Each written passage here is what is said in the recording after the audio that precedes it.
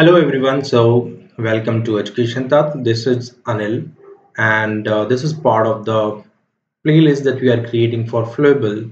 This is this is the third session that we are going to talk today, and we will be covering what is BPMN and then what is Flowable and why Flowable. So these three will be the quick topics that we are going to talk about. And uh, if you have not subscribed to this channel, please subscribe. There are uh, other sessions that I have completed before, and then there will be upcoming uh, sessions in this series which will be very beneficial for you. So uh, let's just have a look. Right. So um, if we talk about what is BPMN, uh, I'll go to the theory part later, but let's try to understand what is BPMN and uh, why it is important. So you might have heard about uh, the workflow, the normal data flow, how the data is flowing from one stream to another stream and how the other stages of the life cycle uh, follows. Similarly, BPMN is to depict the workflow where uh, it, it comprises of many activities it comprises of many responsibilities segregated with the different set of users and this is to depict uh, visually uh, a, a connected chain mechanism of uh, multiple uh, actors in a part of workflow. I, I think that's enough theory. Let me just talk about some practical example. So just assume like um, you are working in industry, maybe a software company, and uh, as a like um, requester, you need to hire some resources, technical resources for your team, right? So there is a need of someone who's raising a request. So you are the initiator of that workflow. Since you are creating that demand where the downstream or the connected systems uh, to this requirement will work. Like uh, your hr team or the recruitment team will pick up that information and will start searching for uh, uh, uh, the resumes and they will like uh, start engaging vendors to fulfill your demand right? So that is the initiators that that that you just started now the next thing is what they will do. They will they may start multiple channels. They may start uh, uh, searching on Naukri or similar portals. They may start asking to the vendors. That is the second possibility. They may have some internal pools of resources right? So there are multiple possibilities where they can start working. So this means like it is very uh, difficult to manage when there are like so many parties connected. And you uh, as a like request initiator don't have the complete knowledge what is happening and what recru- recruitment team is doing. Let's make this a little more complicated right? Uh, let's assume that you have some of the resources uh, which are like uh, which are in the pipeline. Right so you have some of the resources which are in the pipeline and um maybe one resource from um, um, some vendor you have engaged and they, they are on the first level of interview by some panelist right? So you as initiator uh, are not uh, like in touch who are taking the interviews but you should know like where your application you have raised a request of four resources. Two on java one is on python and another one is on maybe flowable let's say. So as a requester you need to know and you need to be on top of what you are going to hire where it is currently pending. But if, if you see that the workflow is getting complicated then there are multiple channels there are.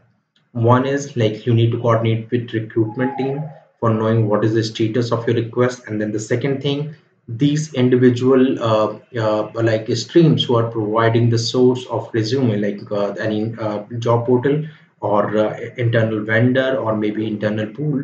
So you cannot coordinate with uh, so many folks right? And then you also need to know like how many resources which are like identified where are they pending they may be pending on first level of interview. They may not be uh, scheduled so far or uh, there can be some offer stage right? So this all is very difficult and uh, not easy to manage thing uh, if we don't have any process in place right? So this is one of the example where bpmn is very helpful. What you do is like you channelize it and all the tools and uh, the supported mechanism actually help you to be on top of each information at each level so they have proper notification mechanism and they have uh, coordination between different uh, system and the parties which is very helpful. Now let me just give you another example. I, I hope this must be clear. If you have any doubt about it, just uh, reach out to me in the comment section. But still, like I, I would try to give you another example, and it should make your life uh, much easier to understand what is BPMN. Right? Uh, for example, uh, you you are planning for some holidays with the family, and uh, uh, what you want to do is you want someone to uh, delegate this responsibility for identifying your hotel, right? For booking your flight tickets, for um, selecting your cab or, or the taxi from your place to airport and then from airport to the hotel or uh, resort, right? Whatever it is. What you will do, either you will just go and book all by yourself right? But just take an example.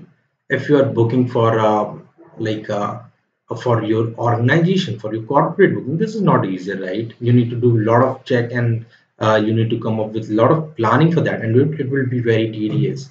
So let's assume that there is a workflow, and we we we would want to like make it a little more complex. Let's assume that I don't want to book a flight ticket if the hotel or the resort is not booked or the vice versa. I don't want to book a flight ticket if the hotel or the resort is not booked, right? Or uh, if the flight ticket is uh, like hotel and resort is booked, but flight ticket is not available, definitely I don't want to go for that. But the third one is optional. I can, I can, I cannot change my decision. If the taxi is not available, I'll, I'll go for Ola or the Uber or the other alternative option because these are not like the mandatory thing as such for me so um, what you want to do is you want to give that responsibility to make my trip. You tell them that this is my requirement and I want this deal to be done if and only if flight tickets as well as the resort booking is done within my price range. So that is what you're telling them. Now at uh, Make My Trip, I'm not just quoting uh, Make My Trip may have the system. I'm just quoting any other uh, uh like uh, this travel agencies they may have the similar system or maybe uh, some a much advanced system or uh, maybe they, they may be using the same so for, for that say let's assume that make my trip is taking your deal and what they are doing is they are running two parallel process or maybe three parallel process. One is to check the flight status and the one is to check the hotel uh, uh, hotel validity and then uh, available uh, availability. And the third they are checking for a taxi. Now if the taxis are available yes they need to go and book but they need to check first whether the deal combining uh, your flight ticket and as well as your uh, hotel availability if these two are available then only they will go and book the taxi. So what they'll go they will just start two parallel process and the condition for that two parallel process to complete is both availability should met true. So it's like an and condition.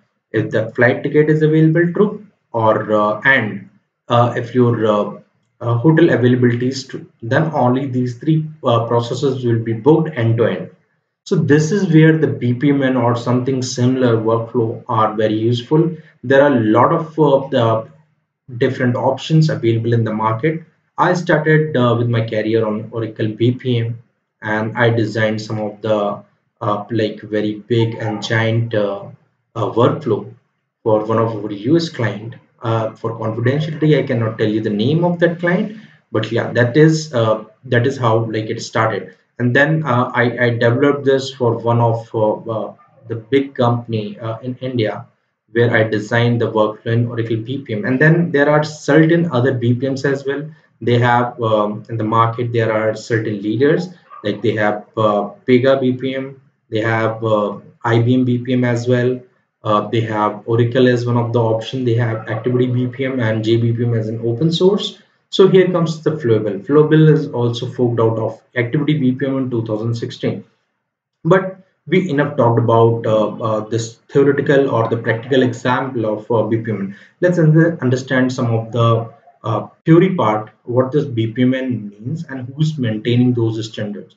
So as you can see in the slide, the business process modeling notation is visual modeling language for business analysis applications and specifying enterprise process workflows.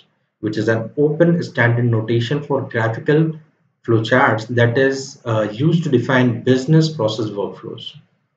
There are some standards and notations defined by Object Management Group, OMG Group, is known as BPMN. So current version is BPM 2.0. Each BPM process has a sequence of flow object connected with a series of activities and have at least a start and end event to produce a specific outcome. So here's an important point. Uh, so if, if you will open and introspect what is in the BPMN file, which is mostly an XML file, and it contains your uh, detail about series of uh, activities connected together, and then some of the business logic. So it's a low code or no code kind of a platform that you can assume.